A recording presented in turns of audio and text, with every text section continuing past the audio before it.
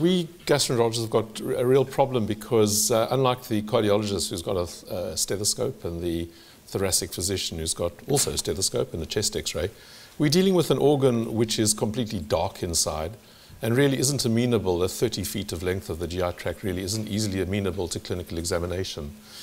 And really, during the 60s and 70s, um, there was a great breakthrough in the sense that you could actually bring light, let there be light, to the gastrointestinal tract. We had the development of this wonderful uh, piece of uh, engineering, the endoscope.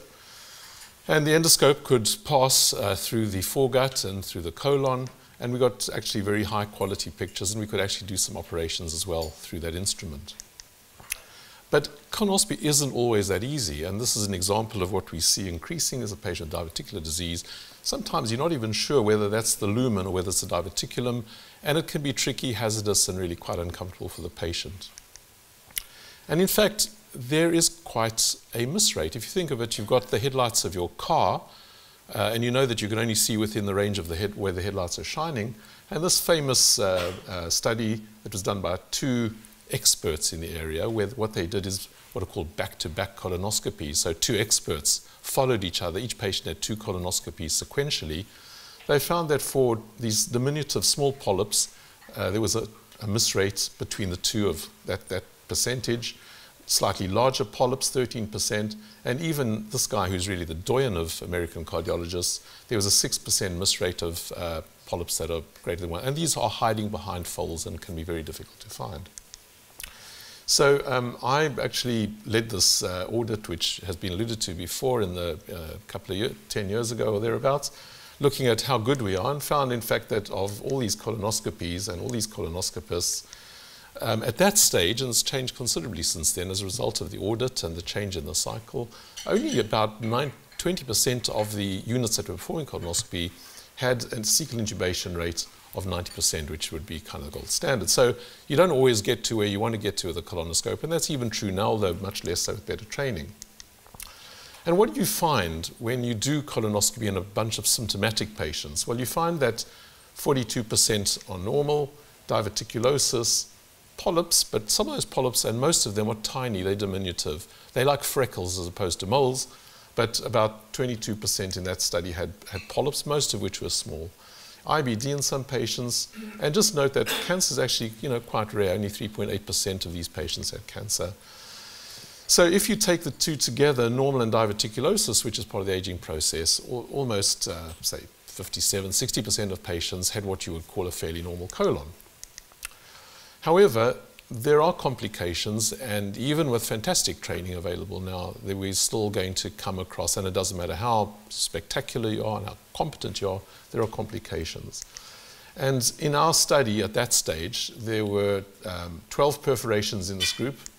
Um, the overall perforation rate was 1 in 769. In eight of the 12 colonoscopies, the, it wasn't the polypectomy that caused the perforation, it was just the colonoscope going through the wall.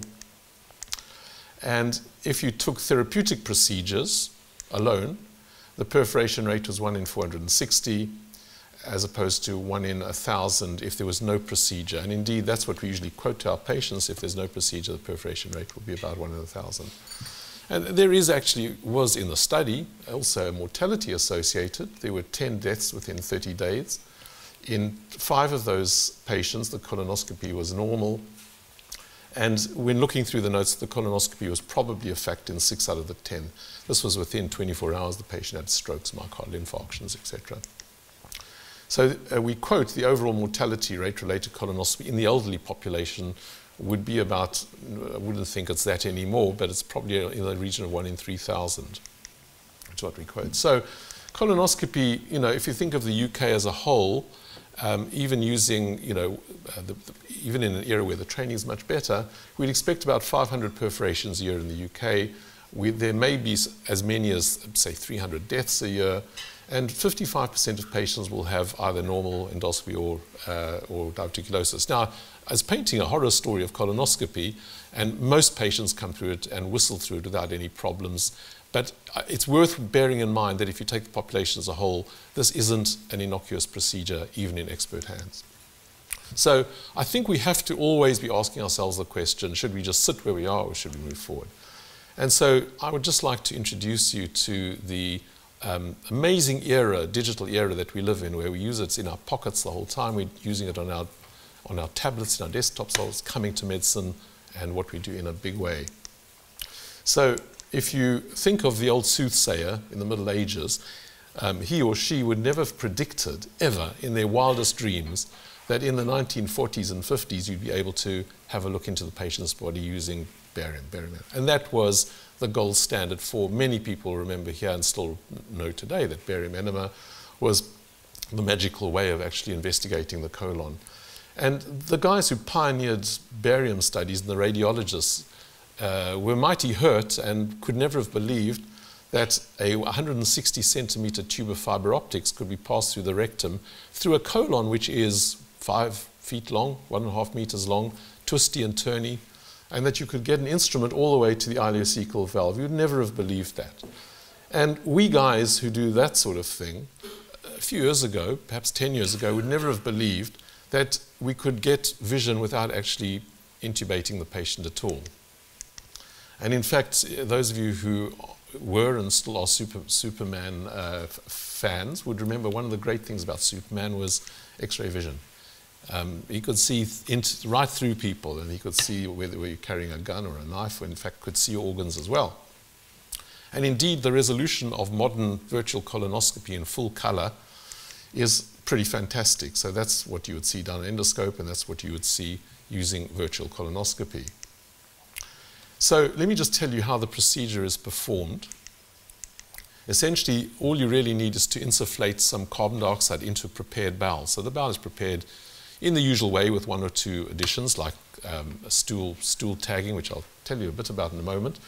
But there's a little machine which insufflates carbon dioxide, which is warmed. Warm CO2 is insufflated through the rectum. And the patient feels a little bit of distension, but uh, certainly no pain.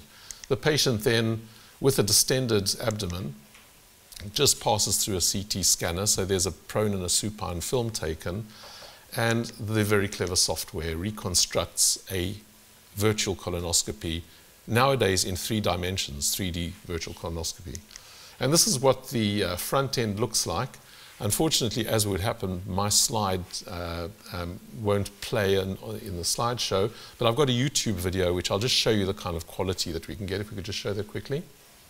This is coming straight off YouTube, but it's exactly the, the kind of picture you get. So if you just look over here, this is the radiologist, or for that matter, the gastroenterologist, because I've done a few of these myself. Um, this is really what you're doing, sitting with your little mouse and you're watching the lumen opening up in front of you. And you're basically traveling painlessly. The patient, of course, has long gone home, and you're getting this quality, and you're picking up little polyps along the line, which you can measure, etc. Show that for a little while longer. Okay, thank you very much. If we go back to the slide. So um, uh, th there was a, a landmark study. Um, this was pu published in the New England Journal of Medicine by this guy who took 1,200 normal patients who they were going for screening. They had same-day virtual colonoscopy and optical colonoscopy, and they had the 3D um, studies done, and you'll see that if you look at polyps, 10 millimeters, 8 millimeters, and 6 millimeters, virtual colonoscopy and optical colonoscopy are pretty similar. So you have, in screening terms, fantastically similar um, comparisons. Um, virtual colonoscopy diagnosed uh, two cancers, OC1 cancer, and optical colonoscopy missed 12 polyps. So in other words, a virtual colonoscopy in that trial was a little bit more sensitive than optical colonoscopy. Um, we've done a study which was slightly different. We took 100 symptomatic patients. These are on screening. These are the patients you sent to us. And they had the same thing. They had a virtual colonoscopy called V3D followed by optical colonoscopy.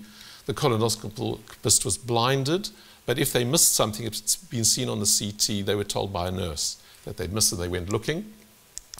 And essentially, uh, they came with the usual kinds of things that you send out patients for us to investigate. And uh, the Preparation is a low residue diet, a little bit of barium the day before, a laxative, usually Moviprep, uh, in the same way for colonoscopy. And these are the kind of pictures that the radiologist, this is what's called electronic cleansing. You'll see here there's a puddle of fluid. You might miss something under there, but it's, got, it's, it's tagged with gastrografin. And with electronic cleansing, it's very easy to clean the colon. That's just an example of that. And these are the kind of findings you can observe. So this was the comparative trial. Virtual colonoscopy took the same amount of time. The completion rates in virtual colonoscopy were very high, and the complication rates were minimal in both sides. These are, are small polyps. These are middle-sized polyps, and these are the large polyps. These are things that we're looking for. And in the trial of symptomatic patients, if you look over here, this is virtual colonoscopy, optical colonoscopy. Three cancers were picked up in both for polyps greater than 6 millimeter, 11 polyps in 9, 10 polyps in 9, but this one was found on looking again. And so overall, uh, you can see that the two level peg in symptomatic patients for all these findings. So very good sensitivity for cancer and probably 10% better sensitivity for larger polyps.